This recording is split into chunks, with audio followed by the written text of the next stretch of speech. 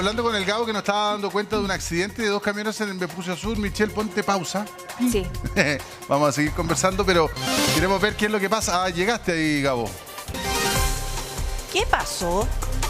Logramos llegar, no es nada de fácil porque el taco es impresionante en todo el sector de Vespucio Sur en dirección al poniente. Este es el último camión que están sacando, que eh, lo están tratando de mover con una grúa, que la, la segunda ya se retiró. Pero Roger, hagamos un paneo hacia la izquierda porque mira cómo está la caletera por la cantidad de vehículos que tienen que salir de la carretera producto de este accidente. Estamos hablando además de vehículos de gran tonelaje, como Claro. los camiones, y si uno ve la caletera hacia el lado de allá, incluso hay una pista menos, o sea, el taco es brutal, Pri Repe. Ah, claro, pues ahí se empieza a angostar también la calle y son vehículos de alto tonelaje. Ya sacaron entonces el primer camión, Gabo, están retirando el segundo. Pero mira, mantengámonos con esa imagen porque quiero aprovechar de preguntarle al capitán Oscar Valdés, porque la verdad es que para carabineros también es un dolor de cabeza. Tienen mucha pega los días de lluvia. Esto, claro que hay que investigarlo, por qué, cada- por qué se ha registrado cada eh, accidente a esta hora, pero probablemente la lluvia tenga que ver. Así es, Priscila. Bueno, primero que todo, saludarlos. Muy Hola, buenos días. buenos Eh, bien lo decía Michelle, aquí este sistema frontal que lamentablemente está afectando la zona, o, o de igual forma para, para bien, eh, nos genera estos efectos, lamentablemente, que alteran directamente lo que es el tema del tránsito. Tenemos múltiples eventos que ya lamentablemente están afectando la región metropolitana y uno de estos en particular es este accidente ocurrido en Maipú donde están involucrados estos dos camiones y que desgraciadamente, según las pericias que se van a revisar, es lamentablemente las condiciones de la carpeta rodado o el asfalto, el cual habría directamente involucrado esta clase de, eventos. Tenemos otros también muy trágicos, lamentables. Hay eh, peatones, por ejemplo, fallecidos a, a causa de lo que es esto, porque uno entiende que el peatón, con la finalidad, por ejemplo, de no mojarse, optar por un mejor lugar para cruzar, evitar el tema de la lluvia, tiende a exponerse en lo que son los lugares Claro. donde finalmente Y bajan a la vía. Y bajan a la vía. Y eso es para nosotros eh, eh, lo más perjudicial, claramente, lo que más lamentamos, que es eh, estas situaciones donde simplemente se expone la vida de las personas. Eh, Oiga. actualmente estamos trabajando en este lugar. ¿Ya? Hay todo un procedimiento que lamentablemente se debe desprender. Hay Pero que más o generar menos, ¿cuánto una serie podría tardar? lo que son las maniobras de retirar estos camiones del lugar, Claro. adoptar el procedimiento que corresponde, ver, empadronar Hay que ver si testigos, hay tomar declaraciones, también, si es que hay lesionados, claro, también eso eh, eh, más extiende mucho más allá el procedimiento y obviamente si es que las instrucciones por parte del Ministerio Público determinan de que hay que efectuar alguna serie de otras diligencias por parte de la CIA, del levantamiento planimétrico, tomar fotografía Claro. y eso sin duda alguna también Ahora. demora. Ahí pareciera haber una grúa que se va a llevar Sí. uno de los camiones. Eh, un vehículo de emergencia y, ¿cómo se llama? Bueno, paciencia, porque además, eh, oh, si ustedes se fijan, está el acceso a la ruta 78. Da Sí. la sensación de que todos estos camiones de alto tonelaje van rumbo al puerto San Antonio, probablemente, digamos.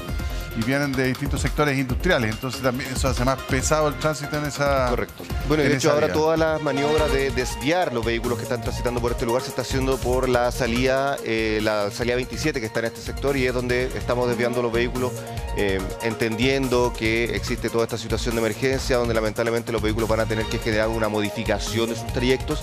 Pero eh, al momento se ha desarrollado, entre comillas, este procedimiento con una relativa normalidad. Normalidad. No, Dado- no- no hay heridos graves. Al momento no, no. Ya. No tenemos reportes de personas noticia. lesionadas de gravedad.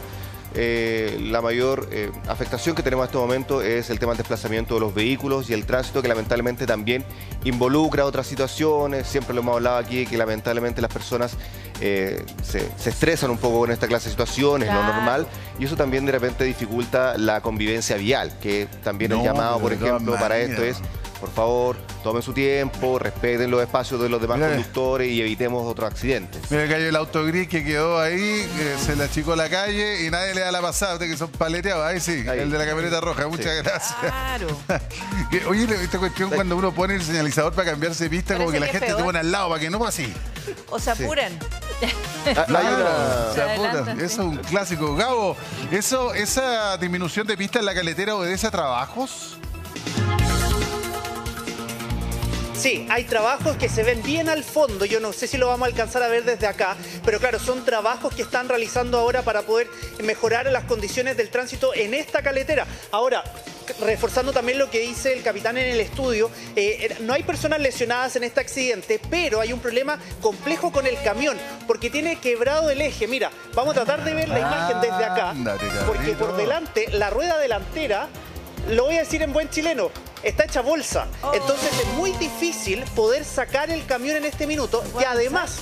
Repe, hay derrame de combustible, por lo tanto también hay que tener cuidado después, porque ya pusieron arena para que se absorba el combustible derramado, pero con la lluvia que hay, esto también se va desplazando y puede ser aún más peligroso. Sí, ¿qué es lo que se pone? Eh, ¿Acerrín para que absorba el combustible? Arena, arena. ¿Es arena? Sí, arena. Primero que todo con la finalidad de que se absorba este material combustible peligroso y por otra parte para que tampoco se incendie. Entonces tenemos Ah, dos claro. situaciones que lamentablemente pueden afectar Oh, eh, de manera importante, complicado. significativa. Claro, se puede, por ejemplo, normalizar después el tránsito en este lugar, pero cuando detectamos que existe esta eh, presencia, hay, hay derrame de combustible, también esto sin duda alguna puede significar que a futuro, en un tiempo inmediato, se genere otro accidente. Claro. Por tanto, ahí las maniobras de seguridad que están desarrollando los equipos de, de la autopista, particularmente también con carabineros, eh, van apuntados a eliminar todas estas otras posibles variables que se desprenden de la Claro. accidentabilidad vial. Claro, porque tienen que quedar con, con todas las medidas de seguridad pertinentes en la ruta.